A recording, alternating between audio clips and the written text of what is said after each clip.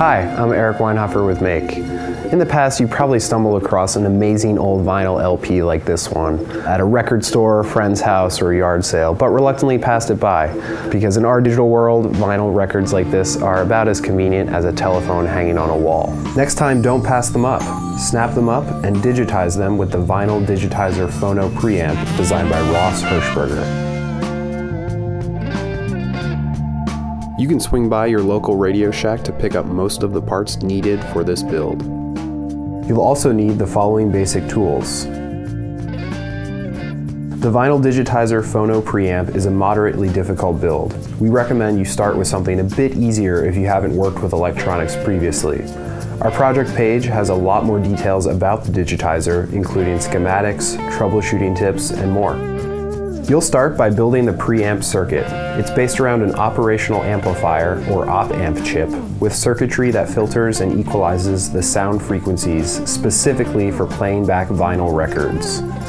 In order to cut an effective groove, an equalization curve is applied to the program material as the record is cut.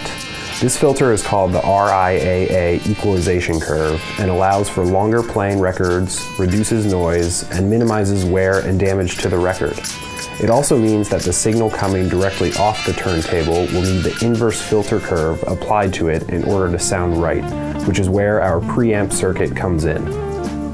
First, take a minute to get oriented with the circuit board and labeling convention as shown on the project page. Be sure to check it out before you begin the build. It gets complicated, so little time now will save you lots of time later. Okay, let's get started. Start by adding the 8-pin dip socket and then two 0.1 microfarad film capacitors. Next, we'll add three resistors, and then two pairs of resistors and capacitors wired together in parallel, followed by a large 0.47 microfarad capacitor. Then install three more resistors, and two more capacitor resistor pairs in parallel. Install two 0.033 microfarad capacitors and then install the final 0.47 capacitor in place, making sure to leave room for wire connections and the mounting screw. Now it's time to add all the wiring to the circuit board. There are eight wires and two battery connectors that need to be soldered in place. Refer to the schematic and the photos on the project page to locate all the connection points. You'll also need to solder an insulated jumper wire on the front and the back of the PCB. Now that you've added all the components needed for the circuit, go back and carefully inspect the solder side of the PCB. Look for cold solder joints, wires not fully soldered, and especially for solder bridges between traces.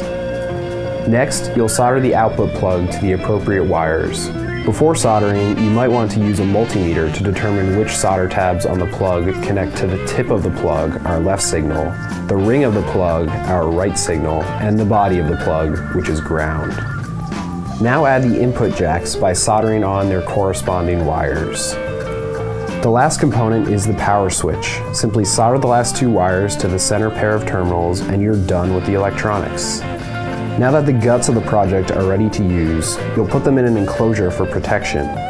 You only need to drill a few holes in the project enclosure for the switch, plugs, and optional power LED, following the templates provided on the project page.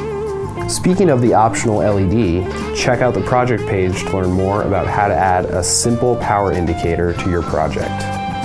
Once your enclosure has been prepped, you can add the op-amp chip to the socket on the PCB, all the input and output jacks, and two 9-volt batteries.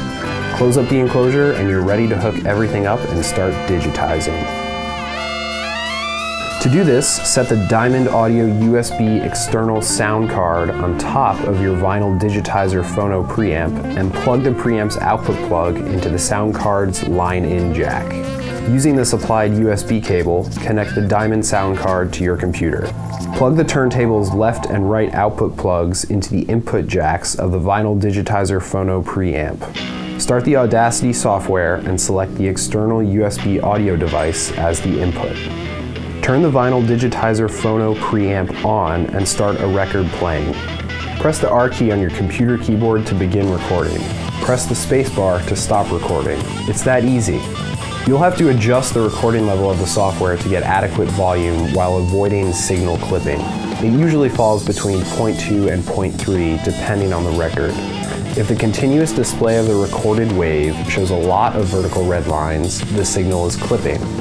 Simply turn down the input level until most of the clipping disappears and you should get a clean recording. The preamp amplifies the tiny signal from the turntable's phono cartridge, applies the RIAA playback curve, and optimizes the gain to be compatible with the Diamond USB sound card. From there, the sound card converts the input signal to a digital data stream, and the Audacity software nimbly turns those old 45s, 78s, and LPs into new MP3s or the digital audio format of your choice. Now get out your record collection and move it on over to the digital world. There's an amazing amount of musical content stuck in the analog world waiting to make the jump.